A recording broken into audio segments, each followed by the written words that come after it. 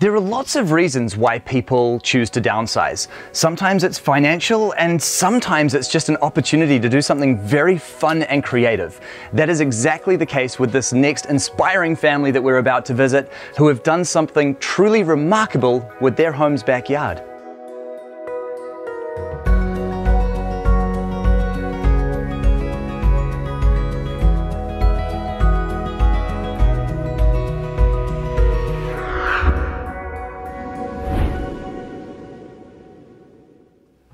Hi, Marnie. Hi, Bryce. How are you? I'm great, thanks. Lovely to meet you. G'day, Dan. How's it going, mate? Yeah, good. This home looks absolutely beautiful. Can you tell me, first of all, how you actually came to be living in this space? So, we bought the block about five years ago, and there's a house at the front that we've lived in for three and a half years. So, it all started with a pool. We wanted a pool, and then it turned into a pool and a cabana, and then hmm. maybe a pool and some space for our parents to come and stay in, and then it turned into our own home that we, as a family of four, now live in. What was it that inspired you to go smaller with your home? I guess I was really interested and I like the idea of minimalism.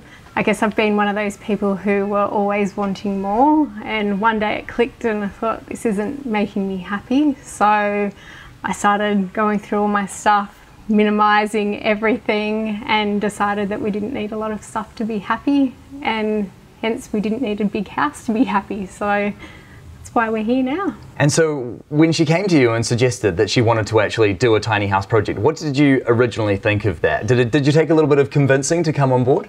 Yes. yes, but I saw the advantages in it eventually, yeah. Yeah, what was it that ultimately convinced you in the end? Something different, something a little bit exciting, and we did have a lot of junk, and getting rid of a lot of junk was good. Now, what size is the home here? 31.5 square metres. And how big is the house that you've come from in comparison? Probably about three, four times the size, I would think, yeah.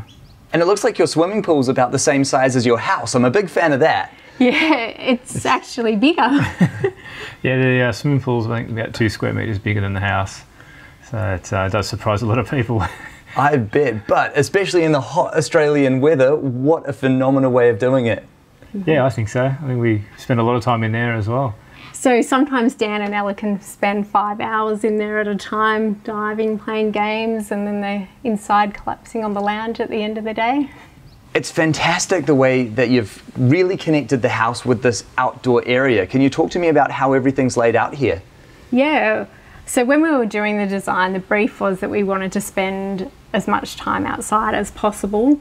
So with the kitchen, we've got this big gas strut window, so we're often sitting here having a meal or just a chat at the table. We have a lot of meals at the outdoor table. Then outside here, we're always relaxing on the big bean bags or having parties around down the fire pit area. And with the garden, I didn't want anything that was too formal or structured, so we've gone with basically an edible garden. So almost everything in here is something that you can eat. So a lot of our food comes from our house, so you can just go outdoors and pick something for dinner. And did you build this? Was this a DIY project? Yeah, so we did it as an owner builder. We engaged a, a friend who was a builder and he did all the, the site side and we did the um, project management, I guess, uh, procurement, that sort of stuff. He looked after all the all the hard parts. but then you definitely got your hands dirty as well by the sounds of it. Yes. yes. There were many, many late nights and weekends um, spent in here. So yes. Can you tell me about the materials that you've used on the exterior? Yeah, so we used a um, cement sheet, the Scyon Stria. It was very, very labour intensive, but I think it's come up pretty good. We've also used raw timber recycled posts, which have you know, quite a bit of, I which you could say, character in them. So there's a lot of raw timber around the place. The deckings are recycled timber as well. They've all been pulled um, from an old bridge as well, so it's nice to have a little bit of history mixed in with the new. So, what are you doing with the main house at the moment? So, we rent it out. So, the income that we get from that helps us pay down the mortgage a little bit quicker, which is helpful.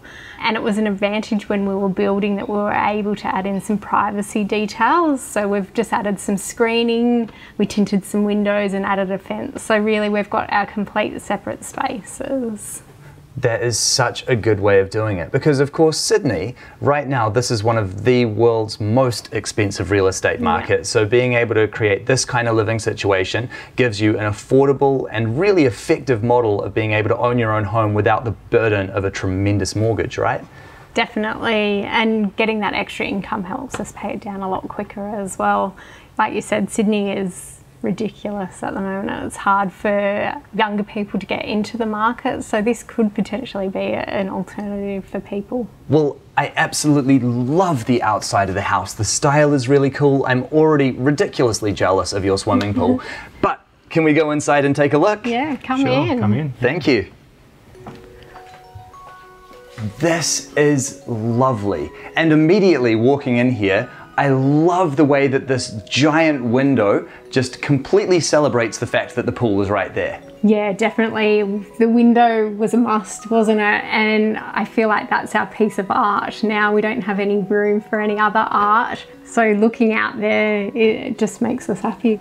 I absolutely love the way that in here the light hitting the pool reflects on your ceiling. Yeah, it's really beautiful. So we've put a lot of effort into the ceiling. We used to call this when we were building the tiny house for giants. So we've done the V-groove ceiling and we've made sure it's connected perfectly to the outdoors so you get that really nice flow from in to out. And it looks like you've done some very interesting things with the furniture. Can you tell me about that? Yeah, so I guess this was Dan's idea. We've done the built in seating, which is also storage as well. So the couches are light and we can move them around as our needs change. So the girls can have a play on the mat or we can push them together if we want to watch a movie. So it works really well. Excellent. So are these kind of like bean bags or something? Yeah, they are. They're bean bags. What a great idea. And I love how much versatility that brings into the space too. Yeah, definitely. It's good to see that you've really prioritized entertaining and relaxing in this space. And I can see you've got a really wonderful place for watching your movies and everything. That's Dan's domain, the TV, isn't it? Well, not really. We don't watch that much of it, but it is important that we had a TV. And it's up right at the right level so you can watch it from the spa as well. No way. Yeah. And you can also you can have a set of Bluetooth headphones or use the pool speakers and watch a movie or you know the tennis or whatever out there. During construction, you would have seen me out there sitting in the half-built pool and trying to get the right angle and hide on the wall here. Unfortunately, What a great idea. thanks. And now tell me about the kitchen here. Yeah, so with the kitchen, because we've got a family and I'm cooking all the time, I wanted to make sure that it had all the functionality of a normal kitchen. So we've got the two burner stove, the microwave combi oven. We've also got a dishwasher drawer here as well, and that's the perfect size so it fills our whole day and I turn it on every night so it works really well. It's a smaller size fridge. Uh, that probably did take a little bit of getting used to, but it works fine now. Fantastic. And it looks to me like you've hidden everything away very well, but you've got a lot of storage in this kitchen. Oh, yeah, heaps of storage, probably even more than what we need. We've got our long pantry here, and it was probably four times the size in our previous home, but honestly, now I don't have things in there that with expiry dates from about four years ago. So, works well.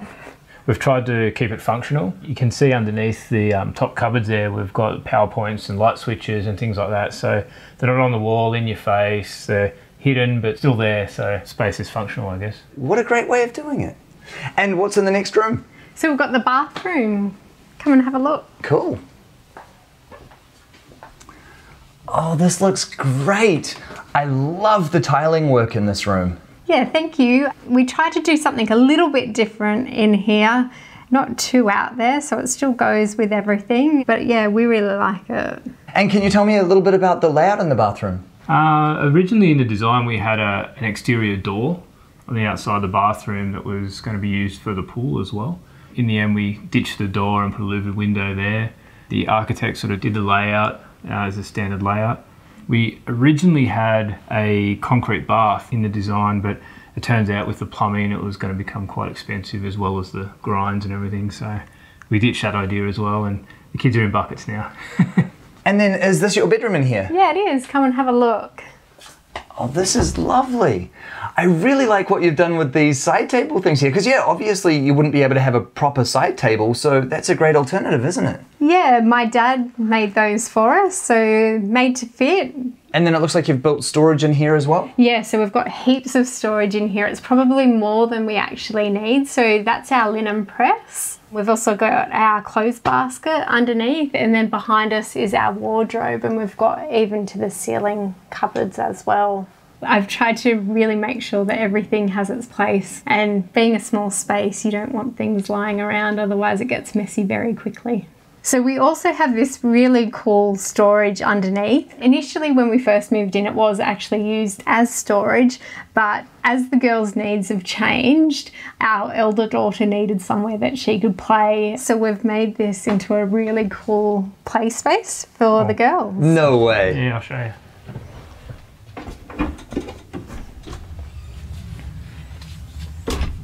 That is such a cool idea. Yeah. Ella must absolutely love this. She does. She does. It's like a little play cave. I really love what you've done. And I love the way that even though this home is so small, it really is a family home. And you've really given the kids so much consideration in what's going on in this space, haven't you? Exactly. I mean, not everything has been purpose built for the kids, but we've really tried to make the spaces work for them. So it's a fun house as well.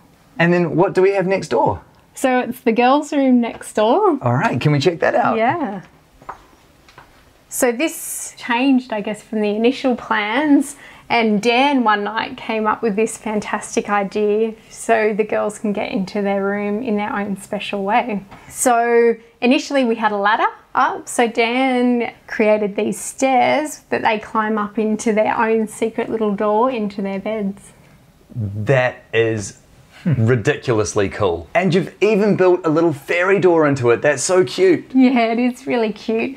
So Ella's gone through a lot of adjustments, moving into the house, having a new sister. So we actually have fairies who come and visit us and change up the spaces for her as things need to change. So Frankie moving into her room, etc. So it's a really fun way for her to get excited about the new spaces. Great. So the fairies created the play space under the bed. Yes, yes. And it looks like you've built a lot of storage in this space too. Yeah, we've built some functional cupboards to keep things like the kids' school bags. You gotta have a place for everything. And so I think in that cupboard, I think that's the vacuum cleaner and the broom. But you- you're not sure. You've never never seen inside. I've never opened it. And then the kids' bedroom through there. Yeah, let's go have Let's look. check it out. This is so clever. You've actually got three levels in here. Yeah, we do. So it's a vertical bedroom. So two beds and a play space, which is now actually Frankie's nursery. But you've got the second bed up the top as well. Yeah, that's right. What was it that inspired you to do the space like this? I think when you're tight on space and you've got constraints, that you actually become more creative. And so, what does a normal bedroom have? It's got normally a bed and a little play space and a wardrobe. And we were able to do that in, you know, something that perhaps may have been unusable. Yeah, in a fraction of the size of the normal space, Yeah. you've created something really special in here. That is very cool. Yeah. And so when Frankie moves up to one of the beds, the intention is to turn the downstairs here into a play space. Yeah, that's right. We can move some things around and put their toys in here, so this will be a play space for the girls as well. We put a few fun things in there as well. There's some talking tubes, and so the kids can be down in the play space and talk to the other kids up in the beds. I get the feeling that you are having just as much fun in here as the girls are. Absolutely. Ella, wake up. I'm awake. So, how long have you been living in the home now? It's been about 16 months now. And how are you adapting to life in the new space? We love it. We wouldn't change a thing about it. So, no regrets. Everything's working really well. So, I think living in a smaller space has changed the way that we live completely. And really, everything's worked better than what we'd imagined. I spend less time cleaning, you spend less time maintaining a house. and we just get to spend time together as a family. We're outdoors so much more. It works really well. We're happy. Is there anything in here that you're finding isn't working for you? I don't think there's anything that's not working at the moment. It's all working really well. Yeah. Probably moving into the future when the girls get a bit older, the bedroom might become a bit of a problem. Uh, you know, getting into the small door there and the bunk beds and the small play space, but we'll deal with that as it comes. Like we've sort of said, we're constantly evolving and changing things. So yeah, we'll, we'll deal with that as it, as Make it it comes. work. We'll make it work. And can you talk to me about the cost that was involved in creating this home? Sort of hard because there was so much involved. We did go over budget a lot on excavation. We had a lot of problems early on. Everything in here is custom made. Everything's difficult, very labour intensive. We actually did work up at the house as well, so we're still trying to break it all down, but including the landscaping and the pool and everything, It must be around the 400 mark. 400 yeah. mark. Yeah. Yeah. But at the end of the day, we could never build a house to this standard or quality on a large scale. So that was kind of the advantage that we saw was being able to have something really beautiful and functional that worked and that was affordable, I guess. I think you hit the nail right on the head when you said that part of the trick with these spaces is everything has to be customized. Nothing in here is mass produced, everything in here is high quality. And I think that what you've done here is absolutely money well spent. Thank you. Thank yeah, you. we agree. The builder's given us options in the future. Yes, we have a bigger mortgage, uh, but we look at it as we've spent an extra, you know, roughly $400,000 to buy an investment property in Sydney that is positively geared. So there's not many opportunities in Sydney where you can buy a positively geared property worth that much money. So that's kind of how we look at it from a financial point of view. I just think you've created such a beautiful home here. The idea of downsizing, moving into your backyard, saving money on the mortgage, and living in a small house with a huge pool is just absolutely brilliant. Thank you so much for sharing your home with me. Thank you, Bryce. Thanks, Bryce. This is a very clever design. Architecturally, it is modern, it's beautiful, it's functional, but what I love most about it is it doesn't forget to be playful. The way that the kids are honored in this space and family life was prioritized is evident all throughout, and ultimately, that is what makes it a home.